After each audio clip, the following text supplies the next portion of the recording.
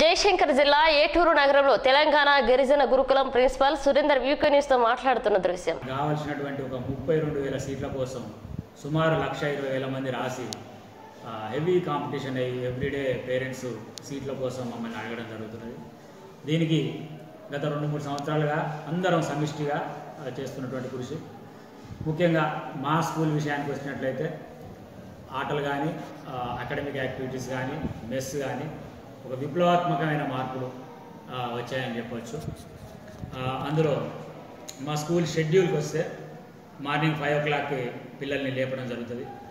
Five to six thirty వరకు పిల్లలకి అక్కడ గ్రౌండ్లో వామప్ ఎక్సర్సైజ్ రన్నింగ్ ఉంటుంది. ఆ తర్వాత వాళ్ళు న్యాచురల్ కాల్స్ అయిపోయిన తర్వాత eight to one thirty instruction hours ఉంటాయి. One thirty to two thirty lunch break.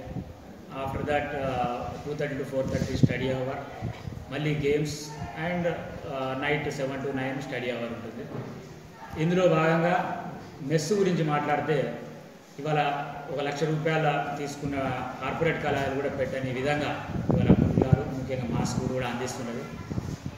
మేము నాలుగు సార్లు చికెన్ రెండు సార్లు మటన్ మంత్లో తర్వాత everyday milk with Boost and రెండు curries curd and four thirty snacks ఈ విధంగా మెనూను డీవియేట్ కాకుండా ఆల్మోస్ట్ ఆల్ పిల్లలకు సప్లై చేయడం జరుగుతుంది.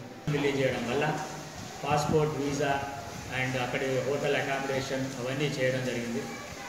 ఈ మొత్తం తెలంగాణ కాదు భారతదేశంలోనే ముగ్గురు గిరిజన విద్యార్థుల్ని ఫ్లైట్ ఎక్కించి వాళ్ళ విదేశీ కోరిక తీర్చడం అనేది ఈ పాఠశాల అండ్ మా టీం మా స్కూల్ టీం అండ్ మేము సాధించిన ఘన విజయంగా చెప్పుకోవచ్చు.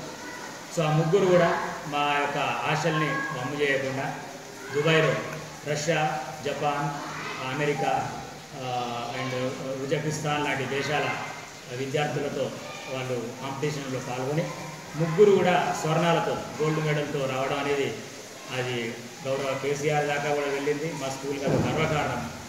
దానిలో భాగంగా మాది స్పోర్ట్స్ స్కూల్గా కూడా సెలెక్ట్ చేయడం జరిగింది. దానికి సుమారుగా కోటి రూపాయల బడ్జెట్ కూడా ప్రొసీడింగ్స్ వచ్చాయి. మనకు డబ్బులు రావాల్సి ఉంటుంది.